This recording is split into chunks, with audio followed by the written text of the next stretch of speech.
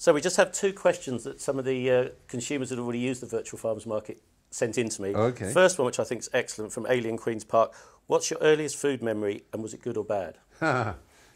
Both. It was good at the time. It's bad now, if you like.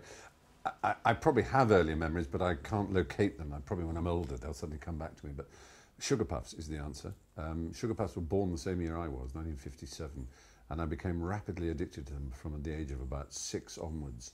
And I would get through packets a week. My poor mother, I don't know how she put up with it. And, uh, and it started my, my entire addiction to sugar, I think. And they'd have been back with whole milk in that days. Yeah, it would have been with very much with whole milk, absolutely. And the other great question from Caroline Schofield was, uh, what would be your ultimate desert island food?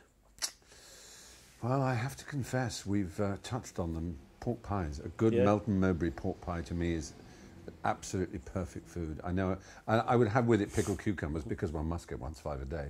Um, to, to, to pickle cucumbers count as a five a day as vegetables? I doubt it. I think we could get them in there. Yeah, and there'd be plenty of fruit in the in the chutneys and pickles and things that I'd have with them. Uh, but yeah, it's got to be pork pies. Pork pies. Do Great. you know, one day I'm going to make a pork pie. There we go. They've heard it here first, guys. There we go. Excellent. Thanks a lot, Thank Stephen. you.